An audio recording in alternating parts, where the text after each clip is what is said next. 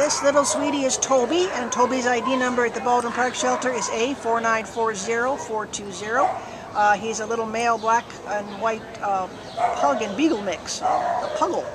And uh, he's about two years old and came into the shelter as a stray on April 19th out of El Monte, and he only weighs about 18 pounds.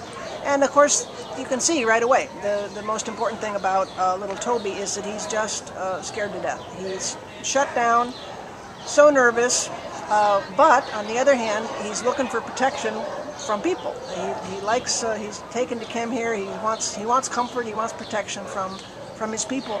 Um, you know, he's a stray. We have no idea what he's been through or where he came from, but whatever it is, it's made him very, very uh, wary of, of everything. So he's, he's having a tough time. What can you tell us, Kim?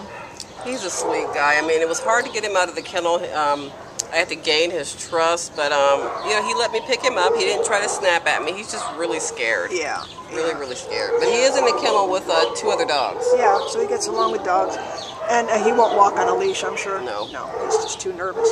Uh, so this is a guy that's going to require some patience. You know, if, if you if you can get past this uh, this glitch of his um, being fearful. And I'll tell you what usually happens. Um, I know from when the, we have occasion when we have to gather the dogs in a play yard for um, some period of time.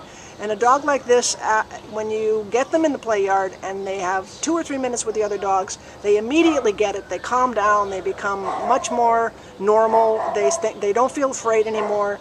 Um, it's this situation where they're locked up. Uh, they don't, you know, they don't have normal socialization and normal companionship. So it's really tough to tell a dog's personality.